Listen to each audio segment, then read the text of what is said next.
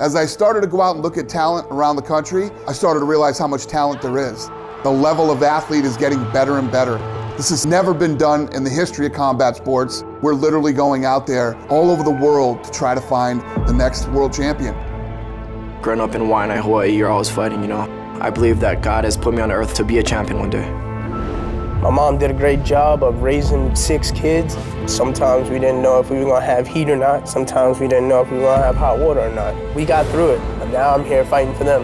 I have no idea how I was comfortable sleeping in the football field in Hamilton Park.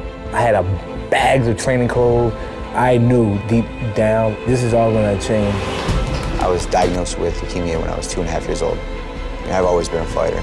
All I needed to ever do was show Dana that I deserve to be here. I came from the bottom, clawing my way to the top. This is everything I've been working for. I'm ready. I was the little guy in a pretty rough neighborhood. I'm gonna achieve greatness, and this is just step one.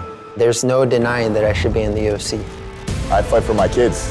I fight for my dreams. I fight for the glory.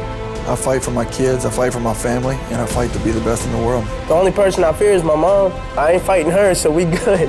What's up, Dana? I hope you have that multi-fight deal for me, because I'm coming for the knockout. If you know me, you know what I'm looking for. I'm looking for exciting fighters that go for broke and try to win. I came from the jungle. I'm ready to be one of the top fighters in UFC. I deserve this second chance. I belong in the UFC.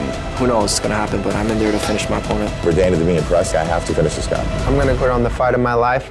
The Tuesday Night Contender Series live and only on UFC Fight Pass.